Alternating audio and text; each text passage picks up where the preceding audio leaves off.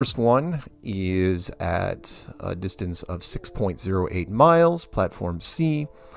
And then the second one off the distance platform habitat at 10.1 miles. Why are these two important?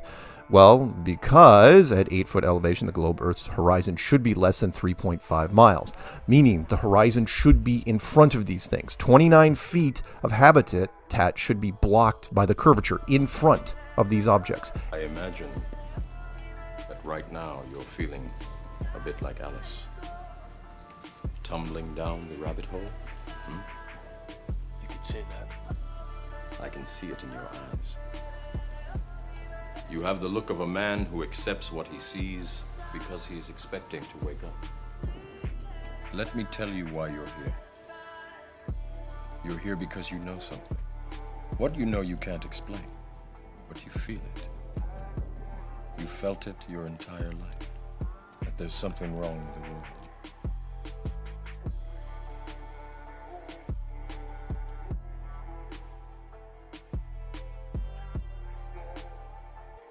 You don't know what it is, but it's there, like a splinter in your mind, driving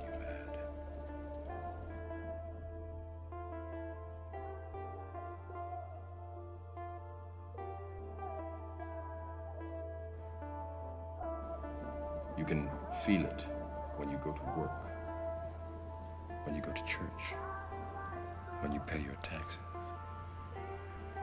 It is the world that has been pulled over your eyes to blind you from the truth. What truth? That you are a slave, Neo.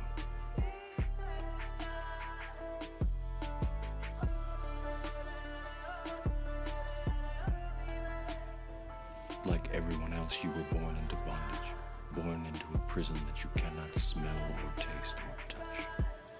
A prison for your mind.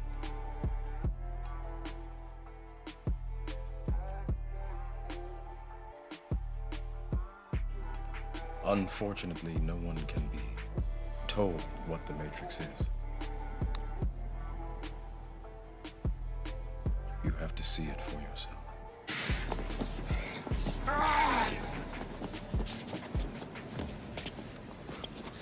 Lock